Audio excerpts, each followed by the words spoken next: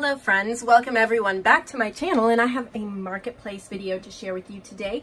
I'm highlighting some journals made by Meegan Sullivan. She does have an Etsy shop and some uh, internet presence that I will share with you. I believe she wrote that down and I can show that to all of you, but she sent a couple journals for the marketplace.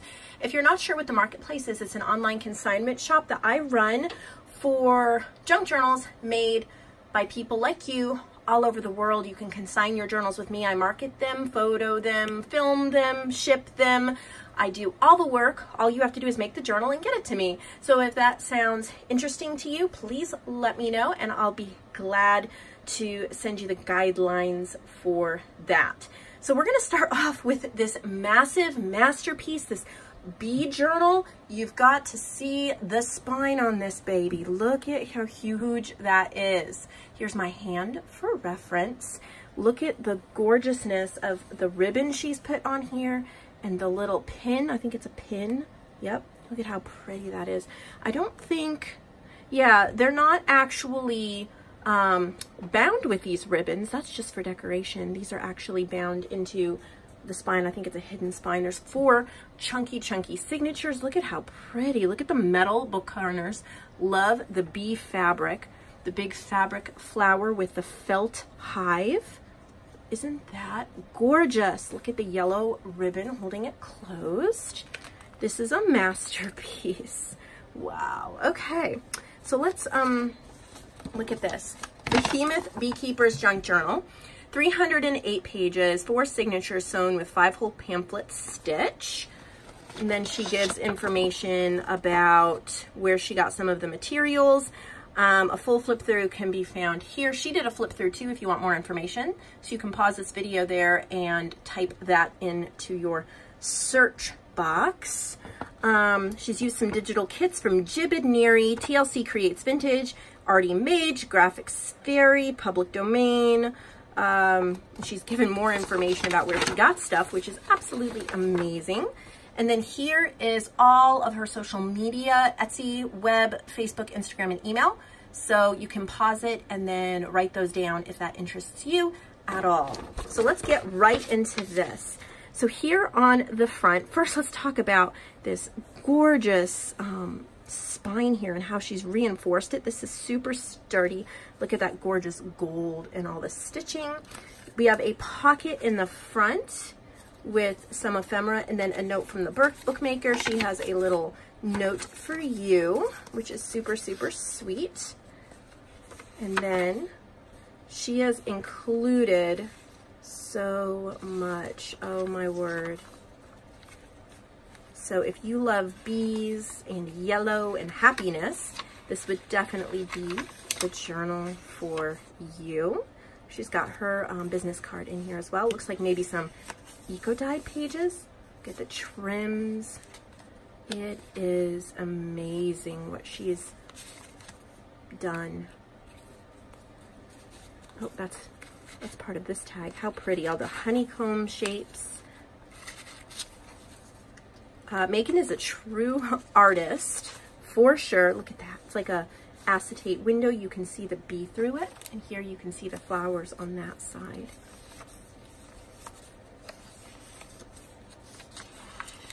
Love the yellows, the book pages, the trims. But there's still a lot of room to write or to add photos or ephemera that flip. Oh, look at that. And then just like a little pocket page that it sits in right there. There's a coloring book page. Oh, I love that page punch. Isn't that pretty? We have a fabric ruffle. like these photo sleeves. This is incredible. Just so yummy to look at. Okay, so you can see the um, ribbon in between the signatures. And that much space between the signatures does allow you to actually add quite a bit more to this journal, even though it is quite full. When you have that much space between signatures, you can still add stuff before it gets too wide. See, if we close it, it look at how much space it has to expand. And that's because of the space that she's added between the signatures. So you still feel like you can play in it for sure. Love the stitching she's done. She's added so, look at that gorgeous book pages. There's quotes, all sorts of bee ephemera. Look at how cute.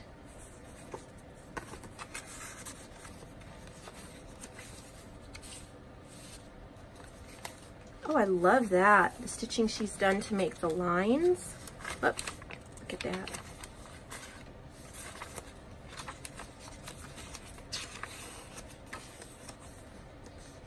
If you're interested in purchasing any of her journals or any of the few marketplace journals that are left over from previous videos, if you click the link to my shop below, which is nevermorecreations17.com, there'll be a section on the homepage called Marketplace. And that is where I have all of the marketplace journals that have not sold yet. Check back frequently because sometimes you can snag one before the video goes live. Sometimes, look, I love that. Look at the diagonal stitching on that. Um, the, the journals are always up before the video goes live. So my process is film the video, list all the journals, upload the video. So sometimes between listing all the journals and getting the video fully uploaded, there may be a few hours lapse. Um, it could just be minutes, but it might be hours or at most a day if I get busy and have to come back the next day. So look at how beautiful that is. So sometimes you can snag a jewel before it is um, actually uploaded and kind of get a head start on that. Also, some of the journals that didn't sell from previous uh, videos are still in there waiting for a home. And every so often I go in there, lower the price a little bit until they sell. So you might find an amazing treasure there as well for a bargain. And of course, I have so many other sections in the shop, so you can pick up some supplies, digitals, prints, other things like that while you're shopping. I love the colors in her journal. It is incredible so much care and attention, beauty.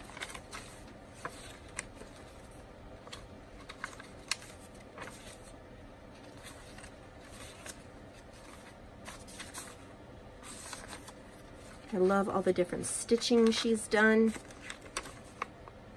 Beautiful.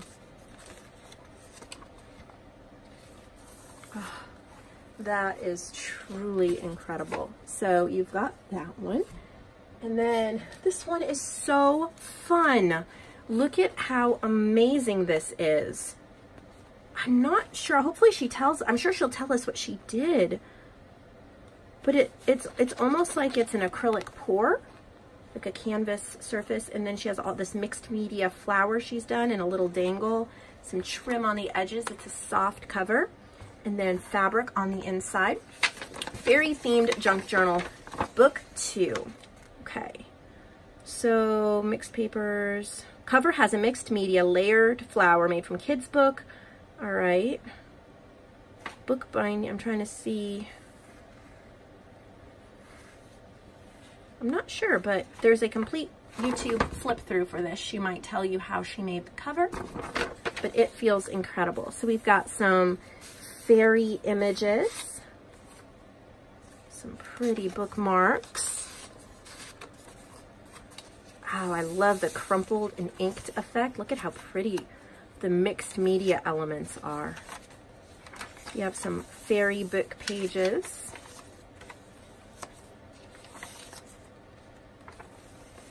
Some fairy ephemera, of course. Oh, look at that. Oh, look at the gold and the purple and the blue. I hope it shows up really well on camera because that is incredible. Got a gold page here. Got some sticky notes. They're always great for, you know, making little notes. Beautiful. I'm going to have to remember to do that in some of my journals.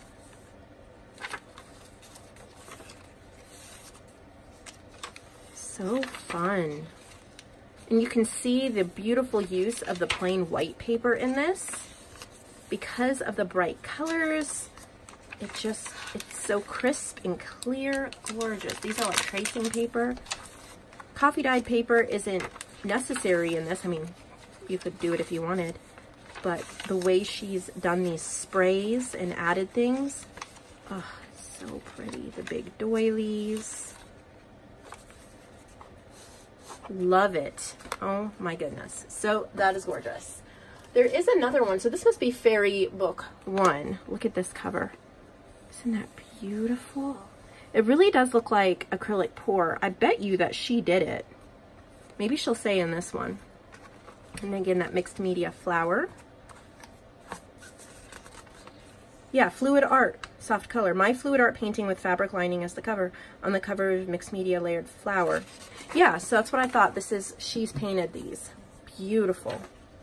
My sister-in-law also does those uh, for wall art, but I had her, I bought one from her and turned it into a journal cover a while back. A lot of fun to work with. So, again, this one is similar, fairy themed beautiful little bits and pieces of ephemera. Love the dyed pages, the book pages. It's just so fun. And you can add a ton to it because of all of the blank spots and white spots. I have a digital kit called Fairy Frolics that you might be interested in purchasing um, if you buy one of these because you could add a lot of that ephemera and things to this journal. If I'm right, I believe I created that kit for Meegan. Pretty sure I did. So there's that pretty one. But look at this one. I am in awe. Look at how gorgeous. I know she painted that. Isn't that just beautiful?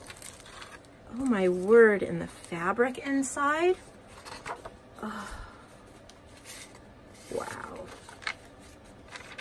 This is beautiful. So pretty.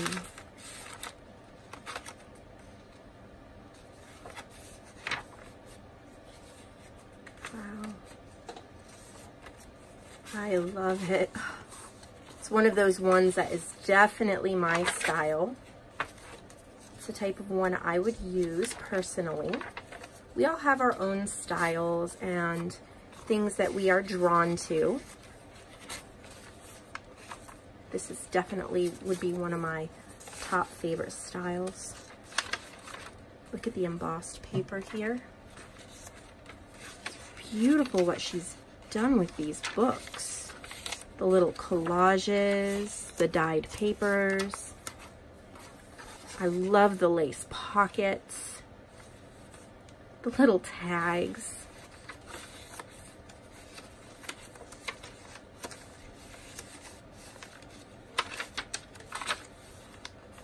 Okay, let's see if she said anything about this one. It's called Blooming Rosettes.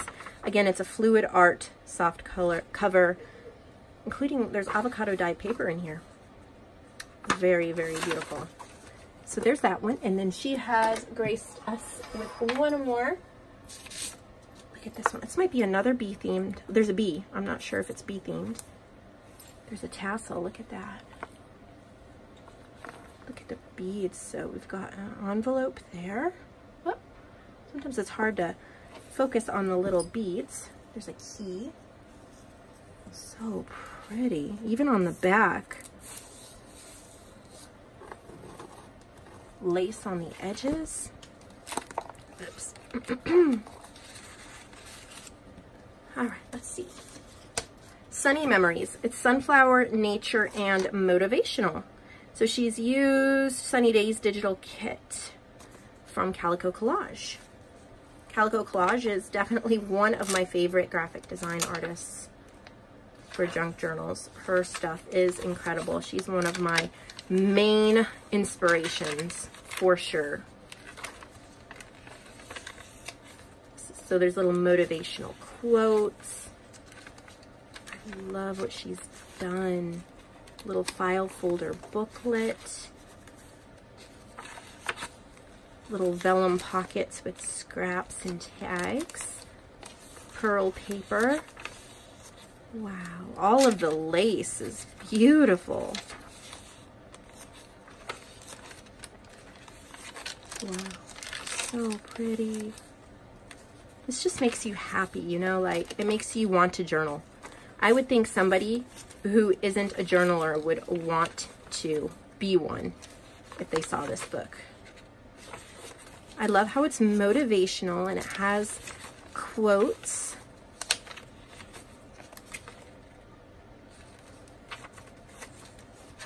Beautiful. There's a lot of pages in here.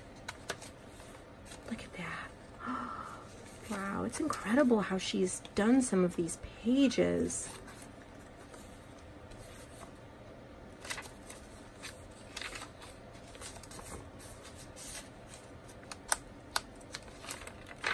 These are some treasures here for sure.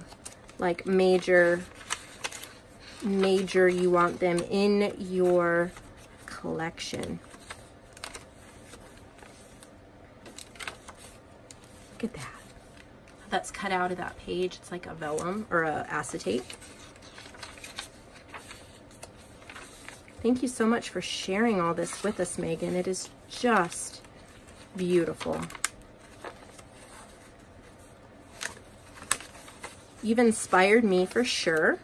I've just started um, a new project.